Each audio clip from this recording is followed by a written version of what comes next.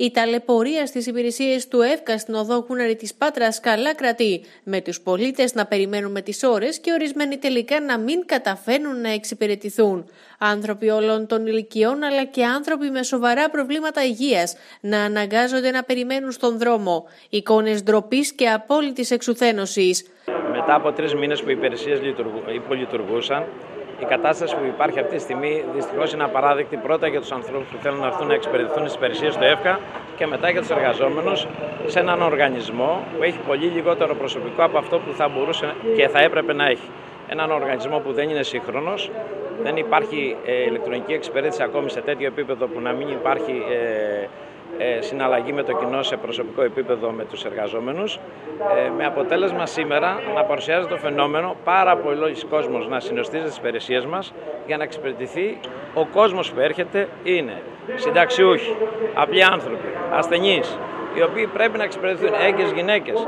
Δηλαδή δεν μπορεί να περιμένει ένας άνθρωπος δύο και τρεις ώρες την ουραία να εξυπηρετηθεί. Πλέον όλοι οι πολίτες, είτε με ραντεβού είτε χωρίς πέδου, να εξυπηρετηθούν με το προσωπικό να μην επαρκεί και να μην μπορεί να ανταποκριθεί στις απαιτήσεις των ασφαλισμένων. Ε, Δυστυχώς η κατάσταση είναι τραγική, είναι απαράδεκτη.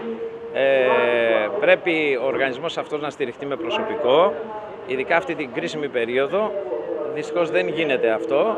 Ο κόσμος έχει απόλυτο δίκαιο που φωνάζει, είναι ταλαιπωρημένος. Την ίδια στιγμή καλούνται να διεκπαιρεώσουν και υποθέσεις ασφαλισμένων του ΟΓΑ, οδηγώντας το σύστημα και την κατάσταση στο κόκκινο.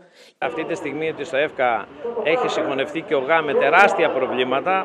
Για να σας περιγράψω ότι έχουμε μόνο 7 με 8.000 έξοδα κηδείας που έχουν να πληρωθούν άνθρωποι 2 και 3 χρόνια και 4 ακόμη, τα οποία έχουν μοιραστεί σε υπηρεσίες άλλων οργανισμών για να εξυπηρετηθούν. Ε, όλη αυτή η κατάσταση καταλαβαίνετε ότι δημιουργεί τεράστιο πρόβλημα πρώτα στους ανθρώπους που έρχονται να εξυπηρετηθούν και μετά και στους εργαζόμενους που πρέπει υπομονετικά να τους εξυπηρετούν. Και όλα αυτά με τον κίνδυνο του κορονοϊού να βρίσκεται εδώ.